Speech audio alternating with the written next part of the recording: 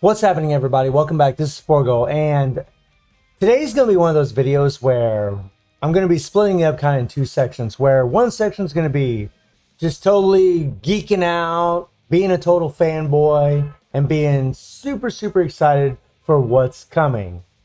Hence, Geese and Krizalid. But the other side of this video is going to be a bit of a rant, and that's what we're going to start with on this video because I want to end the video on a good note. And the rant is about this dice game. Now, originally, I thought this dice game was a pretty awesome thing because we could actually sit and farm all these dice throughout all the power up dungeons, throughout just throughout all the games, throughout throughout all the game modes in the game. And I've figured out that you have to spend thousands and thousands and thousands of AP to be able to do this. For me to be able to do 13 rounds of the dice game, I've had to spend thousands of AP. And I mean, I'm talking a ridiculous amount. So right now, I'm on the 14th round. You got to do 20 rounds before you get this dimensional invitation ticket. And this is what you want. You want this so you can level up a collab character. This is the equivalent of a fest memory for a character it's also the equivalent of taking three fest memories, combining them, and then you actually make this ticket. So you gotta make 20 rounds, and we need to do six rounds. And again, you can farm for these things pretty much everywhere. Everywhere you see these little icons, you see them. Farm Epic Quest, Story Mode, and so on and so on and so on. But we'll go into the Power Up Dungeon just as an example. And I've been farming, you know, cores and elixirs because those are the things that are going to help me the most. I don't need any gold, so I'm not farming gold. And I want you to look at how much AP I have. I have almost 10,000 AP. Almost 10,000 AP, my friends, right? We'll click down here. I got 706 clear tickets. 700. Now, the thing about this is, we just had the Seven Deadly Sins collab, right? Where people were spinning the living hell out of their freaking auto clear tickets where people were spending living hell out of their AP, right, for the rush event. I mean, here recently they've been draining our AP like crazy, and that's fine. You know, we need a place to use our AP, but this event is absolutely ridiculous. You know, originally I thought it was a good thing, but when you start farming for these dice, you quickly realize that you're going to need an insane amount of AP, and that's exactly what we're doing. And not, and on top of that, you gotta let your phone play for freaking hours and hours and hours, unless you're using an emulator, but you'll find that an emulator for KOF actually crashes quite often. So I actually have been farming on my phone, and I just let my phone farm all night. But your phones are to get hot, right? And not everybody has a good device that's actually to be able to run this game or any game all night without getting overheated, right? So it's not a real practical thing. So they need to really, really address these kinds of things. They don't need to be doing this kind of stuff in the future. I think if I see a dice game like this again, where we got to farm, you know, an insane amount of dice to do 20 rounds around the, the dice board game, I'm probably going to complain about it because this is not good, guys. This is not good. And this is going to be proof right here 10,000 AP, guys. 10,000 AP, right? And as far as, you know, how much dice you need, it's really RNG based. And they do give you 300 dice a day, right? And that's good, but honestly, they should give you more. They should give you a lot more than 300 dice a day. And we're just about finished here. Okay, and that's it. So we pretty much used all of our AP. Now, let's see how many dice we have. So we got 2,250 dice, right? I just used almost 10,000 AP, almost 10,000 AP. We are on the 14th round, right? We got to do six more rounds. Let's see how many rounds this actually takes us. Okay. Now I'm just going to quickly click through this thing. We're not going to do it slowly. We're just going to quickly go through this baby. Hopefully this emulator doesn't crash while I'm doing this. Oh, there's one round. Oh, can we make it another round? Hmm. And see, this is what I'm talking about, man. If you get all these rolls on dice you're only getting like three and two, it's just ridiculous. And they only gave us eight days to be able to do this. This event, this event should have been freaking a month. This event should have been a much longer than just eight days. At least two weeks, at least at a minimum, to give people time to farm all of this stuff.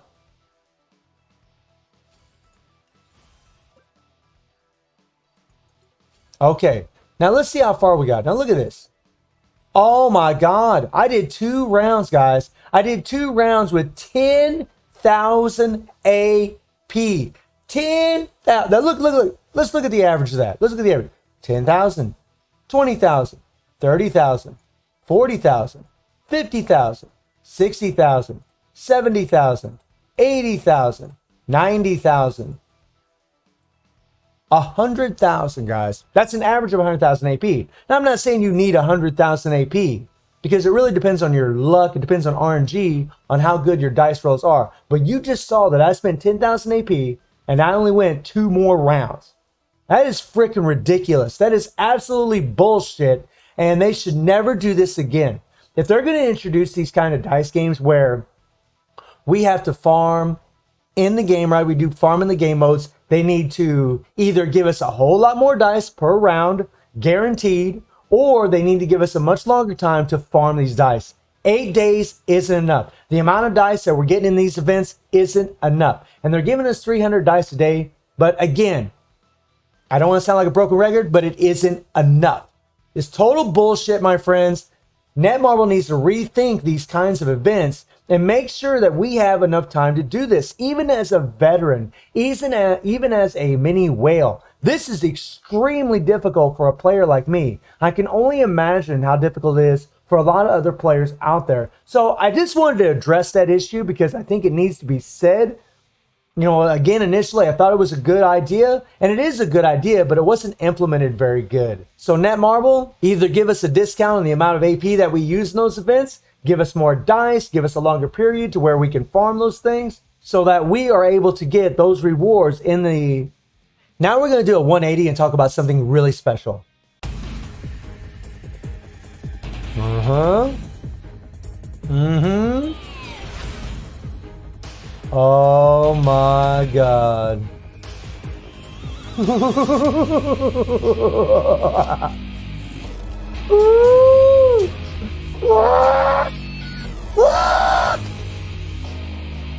oh my god. Yeah.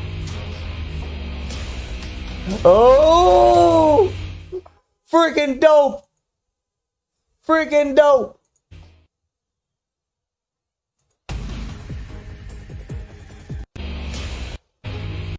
Okay.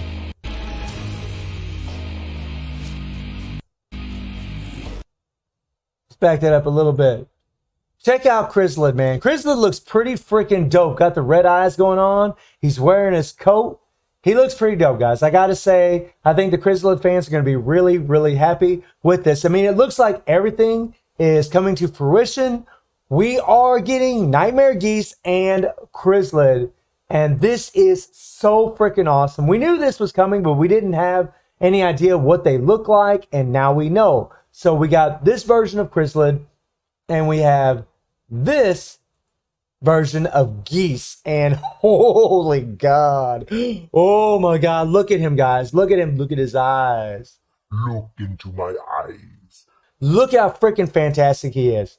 This dude looks amazing. He got the broken cuffs. Oh my god, he looks so freaking vicious. Oh, Geese looks awesome.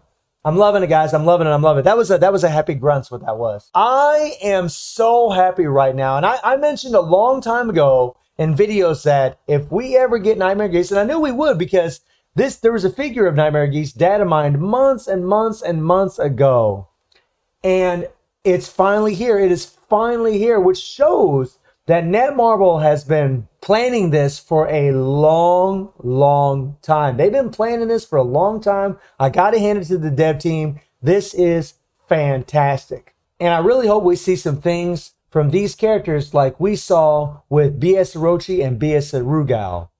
And if you take a look at these BS characters, they really are over the top. I mean, you look at their core effects, both of them, BS Rugal and BS Orochi, have 30% PG gain, which is absolutely insane, along with the leadership. Having the 50% PG gain rate is just insane because they do their ultimates very often. He's got the increased attack, the increased penetration, the gain 10% power. He's got the 50% chance to reset the cooldowns of blast active skills upon landing his third skill, which is freaking awesome. He gains power just by guarding uh, he's got the interrupt skill on the hyper armor skill. I mean, he's got the chance to ignore guard. I mean, this character is freaking stacked.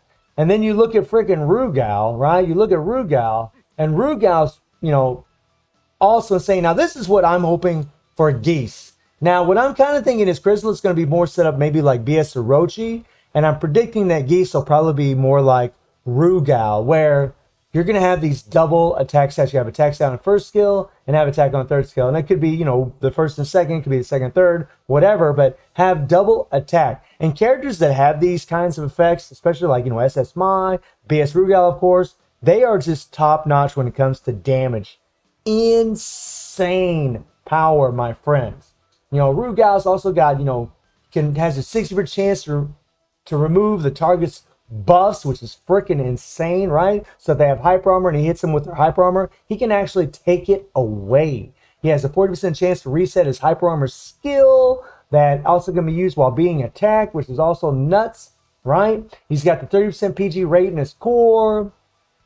And these are the things that we want to see from Geese Howard and from Krizalid. We want to see these kinds of things. You know, decreased target's damage dealt by 25% for seven seconds, increase their damage received by 25%. I mean, it's things like this is what makes these characters so strong. And I'm really, really praying that we're going to see the same thing for Geese and Krizalid. And we should see that in all honesty. I mean, Geese, you know, it's hard telling what they're going to do. I mean, we have most of the supers already in the game, uh, but it's going to be interesting to see. It's also going to be, and I and I pretty much am predicting that we're going to be able to use. He's probably going to get a 3PG card, and we're probably going to be able to use this 3PG for him, and that's actually extremely exciting because this version of Geese, he's a decent character and he's got a lot of power, but because his super armor is on this freaking ridiculous 13 second cooldown, he just gets interrupted a lot. But having this dot explosion is insane. And this is something that I hope we do see on the new Geese Howard. I hope we see Dot Explosion on him. That would be fantastic. And you can pretty much predict that Nightmare Geese will have darkness, right? Think about it. Maybe he'll have darkness, and maybe Krizalid will have fire damage. We'll see. But Geese could have darkness. And if he does, and he has dot explosion, that could be a hinder to him. But as we found out with King from the Seven Deadly Sins collab, even though he has explosion, he's actually still really, really good for guild raid. So it is possible that Geese could be too. And Krizalid could actually get actual fire damage. The weird thing about Krizalid is he has all of these skills, and a lot of them you see like fire animations, but he has no actual dot damage, which is weird. It's really strange that he hasn't doesn't have dot damage. But I want you guys to think about something. If he gets a 3PG, just imagine how powerful this is going to be. The obtain 50% power and reset cooldown active skills when HP is 40% or less on a 30 second cooldown. Just imagine how powerful that's going to be. It's already ridiculous on his 5PG. And if he has a 3PG, it's going to be even more insane for this character. Oh my God, he's just going to be over the top. I mean, we could get some kind of different leadership. We could get a, another PG rate leadership like what we have with BS Orochi, right? We get another PG rate leadership like this. Maybe we could do, get some kind of like increase 65% to male type fighters from one of these fighters to give us a superb leadership, which would be pretty insane. There's a lot of different things they could do for them. But I'm just I'm just expecting, in all honesty, I'm just expecting that Geese and Krizalid are going to be on the same power level, if not better than BS Orochi and BS Rugal, which is a hell of a thing to say because BS Rugal is really one of the best characters in the game, top notch. In my opinion, the only character really better than him as far as PvE content is SS Mai, and that's not by a massive margin. It's just that her leadership is just insane for female fighters, and you just have the best teams for Guild Raid. But at the time of the recording of this video, there is no announcement of a live stream. We should be getting some kind of announcement for a live stream very soon to show off these characters since they are arriving on the 29th of this month. So let me know how y'all feeling about the Akane dice game. If you agree with the things that I've said, that Netmarble should really give us more dice, or they should give us more time to be able to farm these events. And also let me know how excited you are for Nightmare Geese and Krizalid. Freaking amazing. Oh my God. And I do stream on Twitch at 9 p.m. Sunday through Thursday. The link will be in the description below. And I hope you enjoyed the video. Thank you for watching. Y'all take care and have a good one.